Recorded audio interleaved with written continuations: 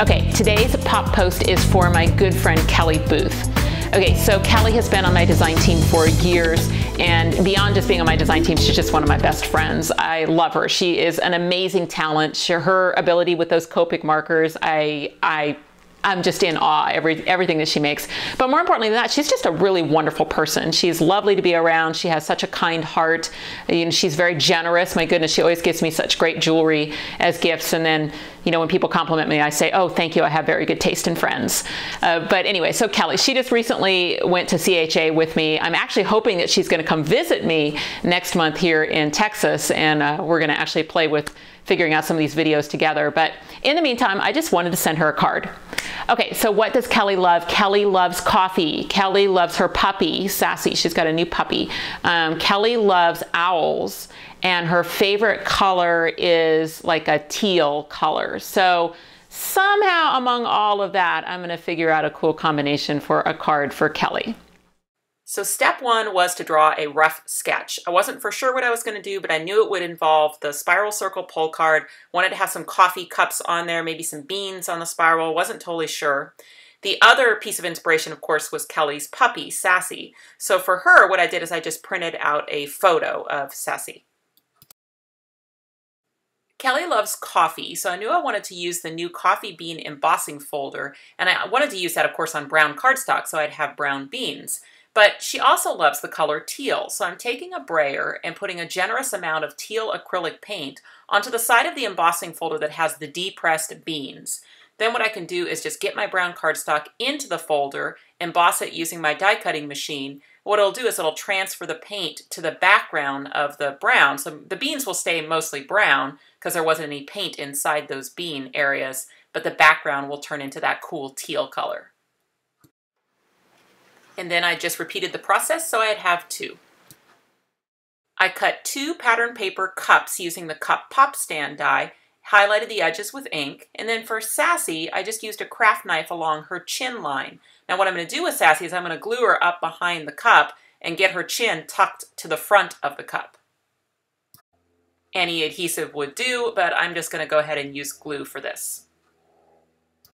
I went rooting through my washi tape drawer looking for something that would be suitable as a detail stripe across the cup, and I came across this, which is Duck Brand Fabric Tape. So that was just the perfect color. So I'm just taking my Elizabeth Craft Designs detail fine pointed scissors into the areas where I need to remove the tape. And I'm just going to repeat that same exact process for the other cup.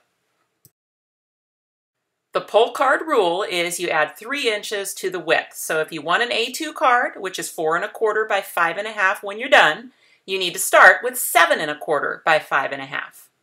I scored the cardstock in the middle for folding, and then all I'm going to do is line up my pull card die using the alignment nubs right over the fold of that card. Now that can be lined up anywhere along the fold. I'm going to pretty well center it top to bottom but you could have chosen to put that higher, lower, anywhere along the fold. Just use the nubs to line it up. I like to use a temporary removable tape to hold the die in place while I'm die cutting. Make a sandwich for your machine for a wafer thin die and roll it through like usual. Then you can just take the die right off the piece and now it's ready for training. Training the pull cards could not be more simple. You just fold in the middle again and then just back fold around the circle. That's it. It's just a simple little pull card, little Z fold card. When you want to keep it closed, you can use the little integrated tuck slots. There's one at the top and one on the bottom on this particular die. When you want to open it, you still just pull. One of my newest die sets is called the pull card edges. And these edges are designed to fit all three of the pull cards in the Pop It Ups collection. So I'm going to use these edges on my card today and I'll use them with the coffee bean paint texture that I made earlier. Now the die is not quite as tall as the piece that I was starting with, so I will need to just finish it out with scissors. But after that, I can attach this to my card. And the simplest way is just to add the glue to the card, making sure I, I leave a little bit of a wider berth around the die cut area because that's going to leave a little shadow with the pull card edges. Now here's what I mean by a little shadow. I'm going to line up the ends with the fold of the card and you can see there's about an eighth of an inch difference between the circle in the pull card edges and the circle in the card. So it gives you that nice little shadow. Brayer can be really helpful for helping you seal it. Since my piece is so much bigger, it's going to be really easy just to flip the card over and cut it down to size.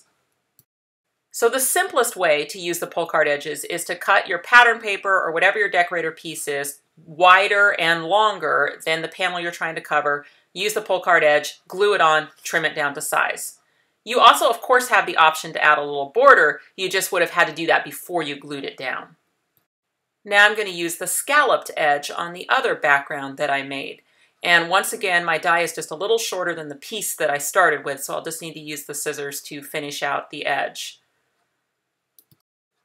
Now, a cool feature of that scalloped border is that the scallops themselves are the exact same size as the tuck slots on all three pull cards. So you can glue them in such a way that they will cover the tuck slots to decorate them, but that the tuck slots are still operational.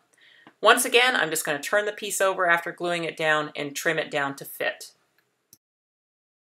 And I'll give just a little extra attention to the end scallops, the one at the very top and the one at the very bottom, just making sure that those are glued down really solid so that when I bend the card to lift the tuck slot up and over that it doesn't try and lift both those scallops. I figured out a location I liked for the cup for the front of the card. Just used some temporary tape to hold it in place and then added glue to the back and then pressed it down really well and took off the tape. Now what I'm going to do is I'm going to use the spiral die from the Spiral Circle pull card set to die cut right down through that cup and that card. Since I was die cutting through several layers, I did roll it back through the machine a couple times to make sure I got good pressure against that spiral. And now I'm just going to carefully lift it off the die, making sure it die cut all the way through, which it did. And now I've got that beautiful spiral cut into my front coffee cup. And in the closed position, the spiral is going to be closed, so it will look like a complete cup. What I wanted to do is add the solid coffee cup, the one with Sassy in it, inside the card so that it is hidden. So I need to make sure that when I glue this inside the card, I'm paying attention to the location so that the handle from the cup on the front of the card will completely cover the handle for the one on the inside of the card. So I'm just kind of doing this by lining up one underneath the other. It's got glue on the back, then I can press it really well. And now I've added my coffee cup inside the card. I had not considered that my glue wouldn't stick to that fabric tape, so I'm switching now to zip dry glue because I knew that would do it. So I've added the glue to the center of the spiral, then I'm going to close the card against that exposed adhesive, get in there and hold that until it sets up, and that will attach the spiral inside the card. Normally this would be a much quicker process. For me, it was just because I'd used fabric tape that I had to really hold it to set that glue.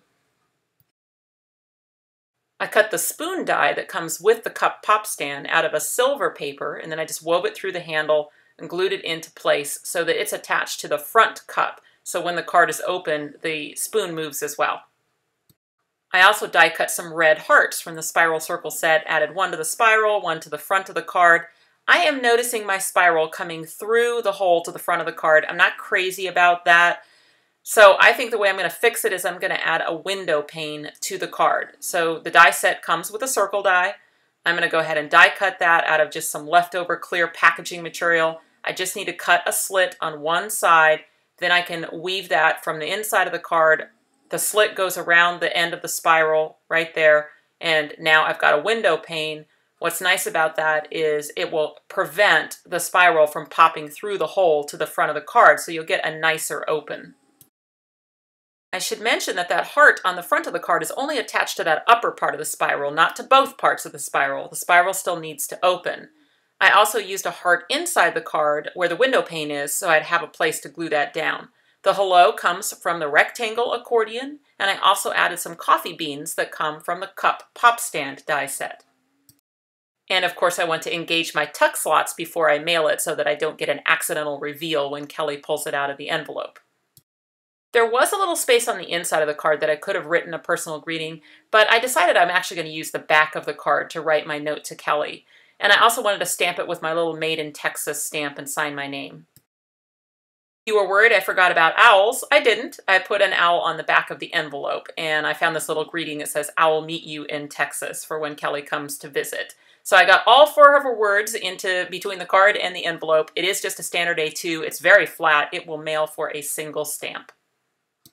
These pop post videos are a little different for me. This is not just me teaching how to use a die. This is me choosing somebody in my life and crafting a card for them, you know, specialized for that person in my life. And whenever possible, I will show you their reaction. So here is what Kelly texted me when she got her card. Kelly calls it happy mail, and I think that's really the perfect term.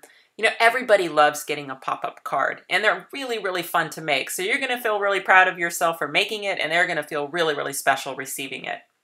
If you subscribe to this YouTube channel, you won't miss a single pop post video, and you can always find more ideas on my blog, KarenBurniston.com. Thanks for watching.